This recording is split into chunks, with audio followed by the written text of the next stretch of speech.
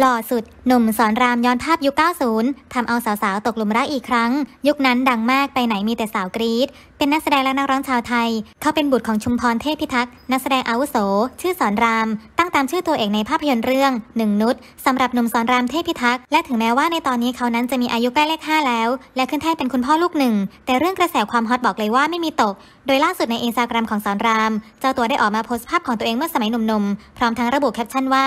คุณพ่อหล่อบอกต่อด้วยวีจิป้าป้าแฮชแท็กตั้งใจทำงานดูแลแม่เลี้ยงลูกให้ดีแฮชแท็กซามูไรพ่อลูกอ่อนแฮชแท็กติดดินแต่บินได้สองกายหัวใจเดียว งานนี้บอกเลยว่าทำเอาบรรดาแฟนคลับตกหลุมรักอีกครั้ง พร้อมทั้งมีคอมเมนต์เข้ามามากมาย